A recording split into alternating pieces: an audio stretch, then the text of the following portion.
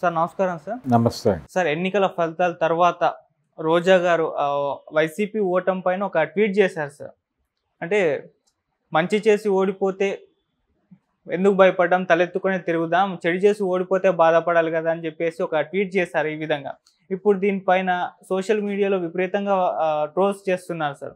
నువ్వు మా ప్రజలే అమాయకులమ్మా నువ్వు మంచి చేసినా ఓడించారు వాళ్ళే ఇది నువ్వు మాత్రం మంచి చేసావు. ఆ రేంజ్లో ట్రోల్స్ అయితే నడుస్తుంది సార్. ఒకటి. ఆవిడ ట్వీట్ చేయటం కన్నా కూడా మీడియా ముందుకు వచ్చి మాట్లాడుంటే దాని ఎఫెక్ట్ బాగుండేది ఓకే. అంటే ట్వీట్ చేయటం వలన ఏంటంటే ఎక్కడో ఉండి ఏదో ఒక మాట అనేస్తుంది అనేది వస్తుంది. నిజానికి ఆవిడే అన్నట్టుగా మంచి చేసి ఓడిపోయాం తలెత్తుకు తిరుగుదాం. మరి తలెత్తుకుని మీడియా ముందుకో జనం ముందుకో వచ్చి మాట్లాడాలి కదా. చాలామంది అంటే ఆ టైంలో కొంచెం ఒక రకంగా యాక్టివ్ అపోజిషన్ అనే రోల్ని చంద్రబాబు నాయుడు గారు క్రియేట్ చేశాడు.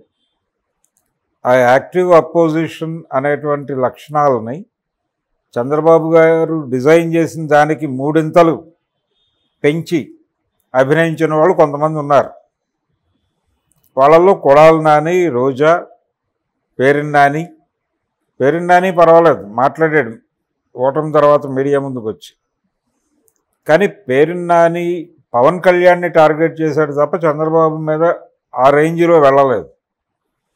అంటే జగన్మోహన్ రెడ్డి కంపార్ట్మెంటల్ పద్ధతిలో ఎవరి మీదకి ఎవరిని పంపాలి అన్న ధోరణిలో కొన్ని కంపార్ట్మెంట్లుగా విడగొట్టి వాళ్ళు ఆ టాపిక్ వచ్చినప్పుడు వాళ్ళు మాట్లాడతారు అన్నట్టుగా ఒక డిజైన్ చేశాడు. ఆ డిజైన్లో భాగంగా పవన్ కళ్యాణ్ అనే డిపార్ట్మెంటు పేరునానికి వెళ్ళటం వల్ల అక్కడ వరకే పరిమితం అయ్యాడు. చంద్రబాబును తిట్టిన టైంలో ఆ రేంజ్లో వెళ్ళలేదు.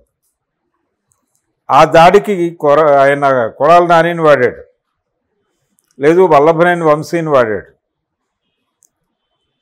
ఎంత కీన్గా జరిగిందంటే అది ఏ కులం వారిని ఆ కులం వారితో తిట్టించుట అనే డిజైనింగ్ లాగా అనిపించింది. అనిపించడం కాదు కొంత స్కీమ్ ఉంది. అందులో భాగంగానే పవన్ కళ్యాణ్ వ్యవహారాల్లో పేరుని నాని ఇన్వాల్వ్ అయ్యేవాడు.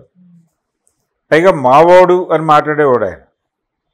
మావాడికి బుర్ర లేదు మావాడు ఇలాగే మాట్లాడతాడు మావాడు అసలు గెలిస్తే కదా ఇలా మాట్లాడేవాడు. కొడాలి నాని తనదైన ధోరణిలో రెచ్చిపోయి మాట్లాడేవాడు. అలాగే అనిల్ యాదవ్ది ఒక తరహా ధోరణి. వీళ్ళందరూ చాలా రెచ్చిపోయి మాట్లాడిన వాళ్ళు. యాక్టివ్ అపోజిషన్ అనే దానికి నాలుగింతలు ఓవర్ యాక్షన్ చేసినటువంటి బ్యాచ్ ఒకటి ఉంది అక్కడ. అందులో ఈవిడ పేరు ఉంది. రోజా గారు కూడా ఉన్నారు ఆ జాబితాలో. అందుకని ఆవిడ కొంచెం ఓపెన్ అప్ అయి బహిరంగంగా మాట్లాడి ఉంటే నిజంగానే ఆవిడ అన్నట్టు మంచి చేస్తే ఎందుకు తలదించుకోవాలి? ఓడిపోతే మాత్రం తలెత్తుకునే తిరగచ్చు కదా. సో తమ వైపు నుంచి తప్పు లేదు అనుకున్నప్పుడు బలంగా మాట్లాడవచ్చు కదా మీడియా ముందుకు వచ్చి ఎందుకు ఈ ట్వీట్ల యుద్ధం ఎందుకు?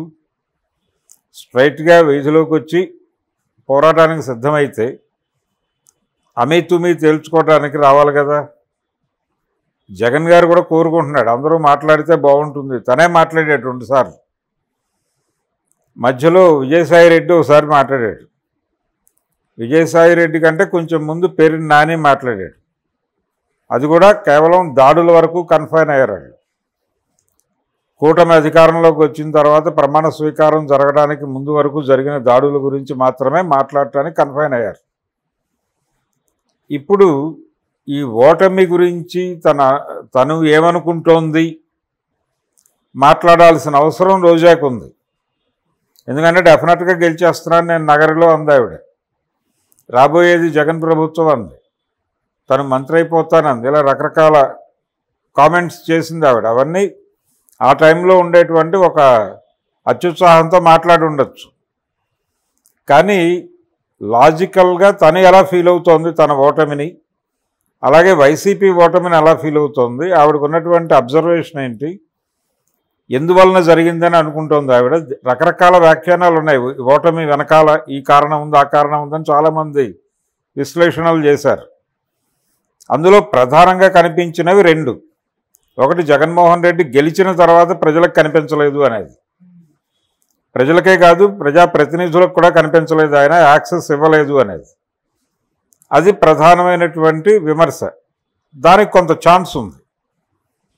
అలాగే ప్రజల డబ్బులు ప్రజల అకౌంట్లలో వేయటం అనేది అదేదో తన ఇంట్లో డబ్బులు ఇచ్చినట్టుగా ఆయన మాట్లాడటం ఓన్ చేసుకుని దాన్ని తన ఖాతాలో వేసుకోవటాన్ని చాలామంది జీర్ణం చేసుకోలేదు. దాన్ని బ్యాలెన్స్ చేయడం దగ్గర ఆయన కొంత తడబాటుకు గురయ్యాడు. ఎన్నికల్లో మాట్లాడాడు ఆయన. ఎన్నికల తర్వాత కూడా అదే టెక్స్ట్ మాట్లాడుతున్నాడు ఆయన. స్క్రిప్ట్ మర్చిపోలేదు ఆయన. ఎన్నికల సభల్లో మాట్లాడి మాట్లాడి ఈ అక్క చెల్లెమ్మలు నేను ఇన్నిసార్లు బటన్ నొక్కాను ఎలా మర్చిపోయారు? ఈ రెండు లక్షల ఎనభై కోట్లు ఇవన్నీ మాట్లాడుతున్నాడు ఆయన. కాబట్టి అది మారాలి. అది మారి జనం ముందు రియల్గా తను కన్ఫెస్ అయ్యి నా వలన ఈ తప్పులు జరిగాయి ఆ తప్పులు పునరావృతం కావు సారీ అని చెప్పి అప్పుడు రంగంలోకి దిగాలి ఆయన. దిగుంటే బాగుండేది. ఇప్పుడు రోజా గారికి కూడా అవకాశం ఉంది. మనం చేసి ఓడిపోయాం అనే లెవెల్కి వెళ్ళిందంటే ఆవిడ కొన్ని తప్పుల్ని ఇలా జరిగినాయి అని ఆవిడ పర్సెప్షన్లో ఆవిడకి ఆవిడ జడ్జి చేసుకుని ఈ కారణాల వలన ఓడిపోయావని నేను అనుకుంటున్నాను. అందుకు మమ్మల్ని మన్నించండి. మీరు ఎలా చెప్తే అలా వింటాం. ప్రజలే ఎట్టి పరిస్థితుల్లోనూ ప్రజాస్వామ్యంలో ప్రజలే అంతిమ నిర్ణేతలు అనే మాట చెప్పి జెంటిల్గా హంబుల్గా జనంలోకి వెళ్ళి మాట్లాడుంటే దాని రిజల్ట్ వేరుగా ఉండేది.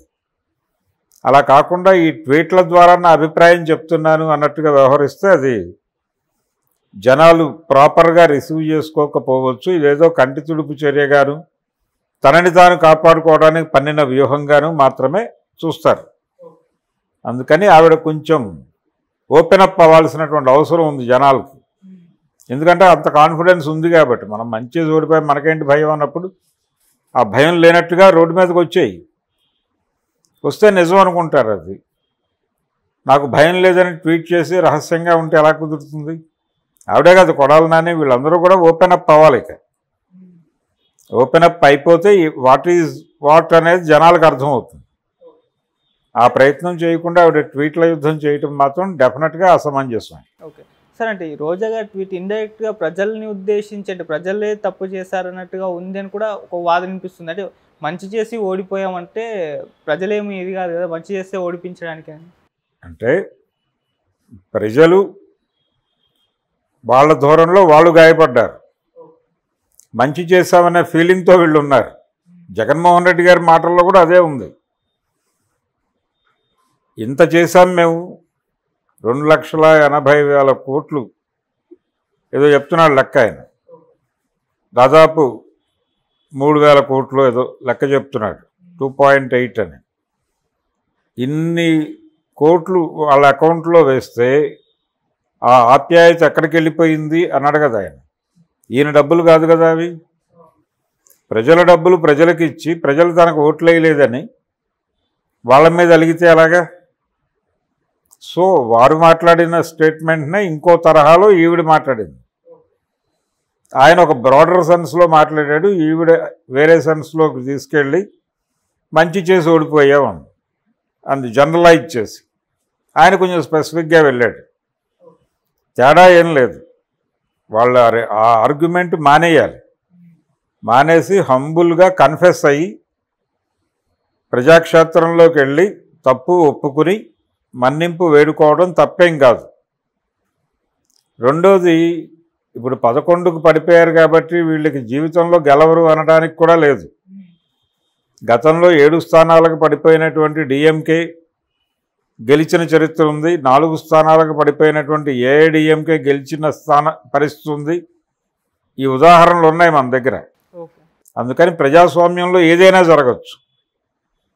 అందుకని దానికి ప్రిపేర్డ్గా ఉండటమే చేయాలి వీళ్ళు.